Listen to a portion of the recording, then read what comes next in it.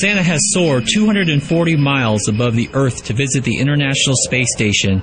He understands the importance of what the astronauts do to make the world better and shows his appreciation by visiting them here. What a great view Santa has of the world from so high in space. After leaving the space station, NORAD expects Santa to enter northern Africa and Europe within the next couple of hours. For NORAD Track Santa, I'm Staff Sergeant Craig Kim.